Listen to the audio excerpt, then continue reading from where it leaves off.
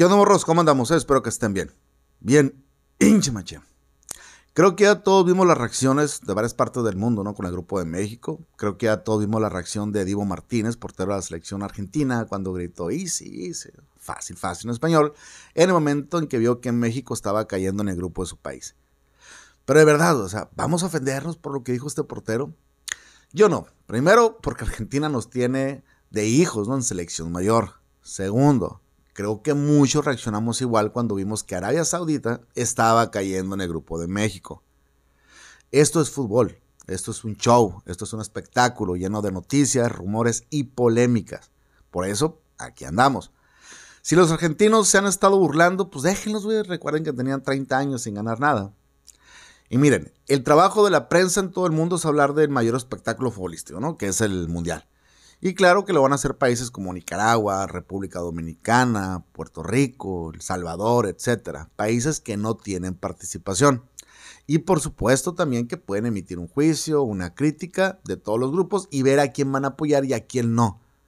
Pero ya, pues a convertir la frase del Mundial no vamos, pero a México le ganamos, aún vale más no ir que ir a ser ridículo como México. Ya, güey, esa madre por parte de la prensa salvadoreña es patética, es mediocre es de ardidos. Es increíble que se puede llegar a tener ese pensamiento por parte de un disque profesional.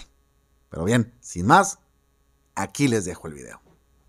Hoy hemos conocido ya mucha más información acerca de este próximo Mundial Qatar 2022. Ya conocemos cómo han quedado los grupos luego del sorteo que se realizó. Y también conocemos quién es la mascota. Días anteriores ya habíamos conocido también el balón oficial de Qatar 2022. Así que tenemos mucho que hablar. Lo del Mundial y lo del sorteo hoy ha sido mucho, mucho de que hablar. Ha sido la comidilla de todo el día. Así es que vamos a hablar a continuación cuál es el grupo de la muerte y qué opinan de, cómo están también los de la CONCACAF, cómo quedan los de la CONCACAF también en este tema y por supuesto la repechaje. La sensación de que ya poquito falta para... ¿Le gustó la, mascota o no le gustó la mascota? Está interesante ver una sábana con ojos como una mascota nueva. No, no se ve... O sea, ya, había de todo, pero no, había lo peor de todo es que esta, mascota, que es un turbante, eh, al final para Latinoamérica el nombre es totalmente irrelevante, porque aquí todos lo conocen como Gasparín. Eh, el Gasparín. le ha puesto apodo, pues, o sea, de nada sirve el nombre. No, pues, pero quedó satisfecho, lo hizo un poco nervioso. Con, el, tema de Uruguay, Quedó, quedó satisfecho. Sí, a varios de los compañeros de Mauricio en la cadena internacional los veo los no van a dormir tranquilos ahora.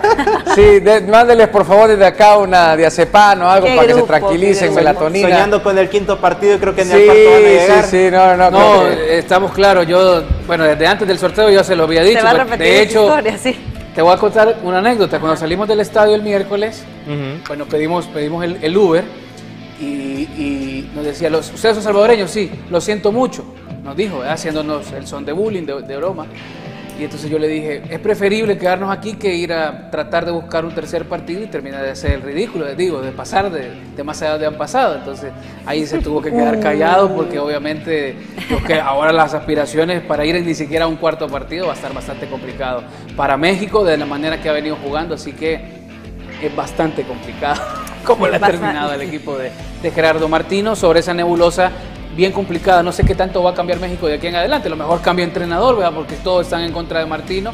Pero bueno, son cosas que hay que ir calentando de aquí a lo que se viene para el final de año. Mire, como usted empezó con el tema, justo con eso vamos a arrancar. el, tema del día. Con el tema del día, porque eso ha sido de lo que se ha hablado desde la mañana y es el sorteo que se ha dado para conocer cómo quedan los grupos para este Mundial Qatar 2022 que se va a disputar en el mes de noviembre. Así que bueno, empezamos repasando cómo quedaron. Pues así fueron. El grupo A tenemos al anfitrión Qatar, Países Bajos, Senegal y Ecuador. En el grupo B estará Inglaterra, Estados Unidos, Irán y recordemos que tenemos todavía también eh, partido por repechaje y todavía no se sabe si estará Gales, Escocia o Ucrania. correcto. Y luego tenemos en el grupo C, que es el que mencionaba Mauricio, Argentina, hmm. México, Polonia y Arabia Saudita. En el D estará Francia, también tenemos partido por repechaje en el que estará Perú, Australia o los Emiratos Árabes Unidos, Dinamarca y Túnez. Ya me imagino ahí Memo Ochoa contra Lewandowski, ¿verdad? Mire, estos son, hasta el momento yo veo las cosas bastante parejas en el grupo. Del que más se ha hablado es el grupo E. Aunque te voy a decir algo, el último partido lo ganó México con de Raúl Jiménez en tierras de Países Bajos, 1 por 0 ganó México. Pero eso No, te digo, porque ah, hay, antecedentes y el antecedente más hoy cercano es ese. No, solo por abonar un poquito para, la tertulia, para la tertulia. Hoy veo a Messi metiéndole tres a México. Del grupo y abrazando al Tata Martino. Es el E, que muchos lo consideran el grupo de la muerte, aunque a mi juicio yo creería que las cosas están bastante parejas en todos los grupos, pero en el E tenemos a España, Alemania, Japón y todavía está por definirse el partido de repechaje Costa Rica o Nueva Zelanda. En el grupo F está Bélgica, Croacia, Marruecos y Canadá. En el G estará Brasil, Suiza, Serbia y Camerún. Y en el H, Portugal, Uruguay, Corea del Sur y Ghana. Así están definidos entonces los grupos luego del sorteo que se ha realizado. Bueno, ahora que ya conocimos cómo quedaron los grupos, les pregunto, ¿cuál es el grupo que consideran que estará más peleado? Empiezo con Kevin. El bueno, los, los equipos que están en el grupo E me parece que no el de la muerte, o podemos mencionar que es el, es el grupo que más llama la atención, España. ¿Y sabes por qué, Eli? ¿Por qué lo menciono? Porque es el único grupo que tiene dos campeones del mundo, es Alemania y es España. En el caso también de Japón, que es de los campeones de Asia, siempre es un equipo que ha estado en lo más alto de ese continente. Es por ello que estamos hablando que es el grupo de la muerte o el grupo más complicado, tomando en cuenta y creería que si todas las cosas se dan como el fútbol tal vez nos lleva a ese camino, el que va a estar ahí es Costa Rica. Pero ¿qué pasó la última vez que estuvieron tres campeones del mundo en un solo grupo y Costa Rica? Fue aquella, aquella actuación memorable. Probablemente estas cosas no suceden dos veces eh, o, quien quita que Costa Rica por ahí llegue a, meterse, pero ¿te acuerdas cuando estaba Italia, estaba Inglaterra y estaba Uruguay? Eran tres campeones del mundo y Costa Rica. Costa Rica termina en primer lugar del grupo. Los dos europeos se quedaron fuera. Ahora Hans-Dieter Flick, también por ahí Luis Enrique, decían, eh, este grupo es complicadito. Japón te puede complicar, sabemos que está unos escalones abajo probablemente de Alemania y España. Otro del grupo que se mira parejo y te lo digo, es el grupo de México, ¿eh? México, Argentina, eh, también Polonia. Parejo. Polonia no. creo que sea. ¿Parejo o disparejo? No, no, no. Eh, yo te digo, más parejito que por ahí anda Saudi Arabia, es el que se queda por ahí abajo, pero... ¿Y, el disparejo cuál sería para ustedes? El disparejo... Para mí el que está Brasil. Sí, eso te iba a decir. Ese, te iba a decir yo, por el grupo G. Brasil me parece que va a terminar bueno, aparte que es cabeza de serie, creo que va a terminar incluso como líder de ese grupo. Si no hay sorpresas. Hay un dato curioso. No es la primera vez que se mide a Suiza. Hay un, dato curioso de este grupo. ¿Ya saben cuál es el de Brasil? Eh, ¿No? Que prácticamente repite en grupo del Mundial Rusia. Porque estuvo con Suiza y Serbia, Brasil. Sí, repiten. En el, en, el, en el de Rusia. Por eso te decía que no es la primera vez que se van a enfrentar. Solo cambia Camerún. Camerún, es cierto. Tenés toda la razón. Y casi lo... Creo que el grupo E. Lo que pasa es que no, no todas las veces. De repente el H no les, no les da así como. No todas las veces quizás se repiten con exactitud el tema de la competitividad de un grupo de la muerte, ¿no? Porque me acuerdo cuando estaba Italia. ¿Quién más era? Pero pues, Italia, bueno, no me recuerdo en ese momento, pero sí era un grupo que era bien peleado. Ahora quizás de la muerte... Tiene que haber sido el 2014 para atrás, para, Mauricio, porque ya Italia sí, claro, por eso te digo.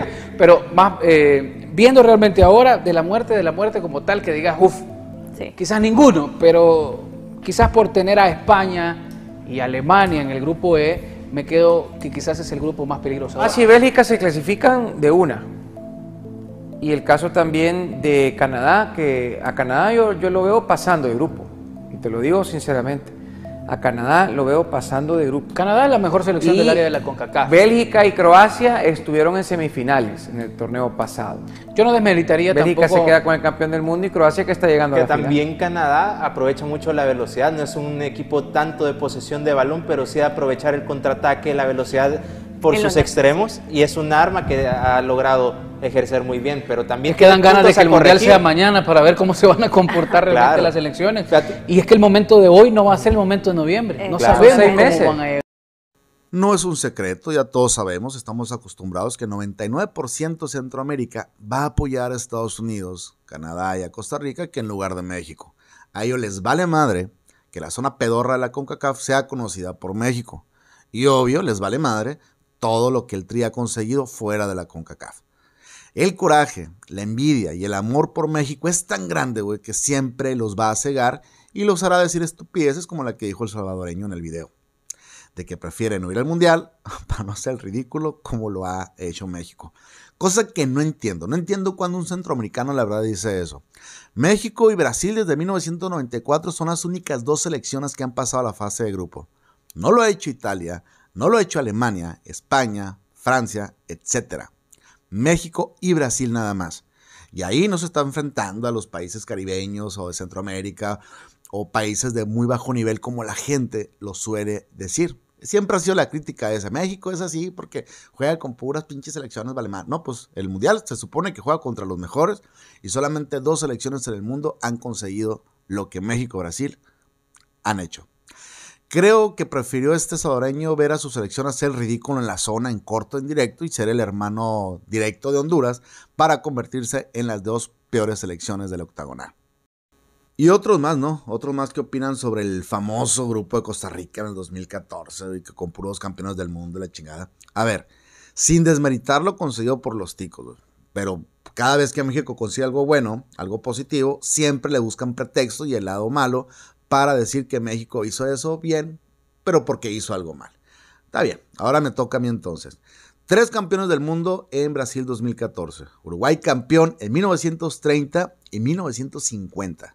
Inglaterra, campeón en 1966. E Italia, una de las peores en la historia, tanto así que ya tiene dos mundiales consecutivos sin asistir a un mundial.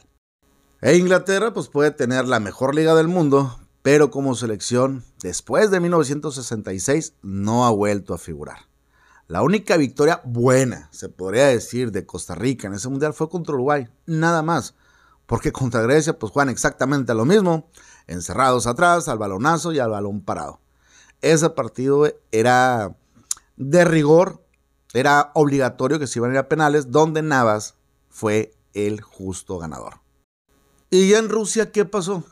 ¿Qué pasó con el Mata Gigantes? ¿Qué pasó con ese que solamente le ha ganado a dos campeones del mundo en toda su historia? Penúltimo lugar. Eso fue lo que pasó.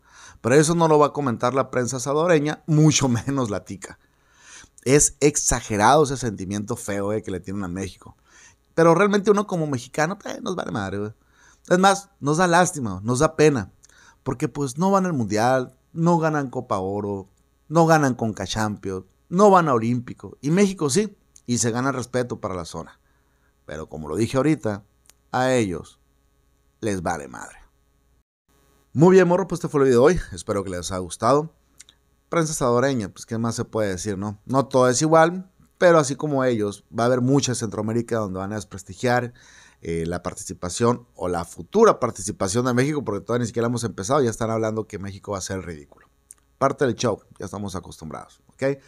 Y cambiando bruscamente de tema, en Hablemos de Fútbol me gustaría tener de invitadas a nuestras mexicanas, a las mujeres. Por ahí a dos suscriptoras ya les comenté. Obviamente va a estar Marve ahí con nosotros. Entonces me gustaría tener dos mujeres más por ahí. Obviamente el público femenino no es tanto, pero pues sí, sí hay mujeres que nos ven. Y me gustaría tenerlas de invitadas para que hablemos de selección, un poquito de liga, algo diferente, vaya pues. ¿Sí? Entonces, si alguna le interesa, me manda mensaje por Instagram para platicar un rato y ver si la podemos tener por ahí de invitadas. ¿Está bien? Ok, entonces ya saben, ahí está Instagram para que nos sigan mandando los videos, temas, publicaciones y comentarios a reaccionar. Si el video les gustó, no olviden suscribirse, darle y compartir. En la caja de descripción vamos a estar dejando enlace de mi otro canal, que por cierto, más rato vamos a estar subiendo uno que quedó bien pinche machín. Dicho esto, vamos a pelar gallo. Arremorros pues.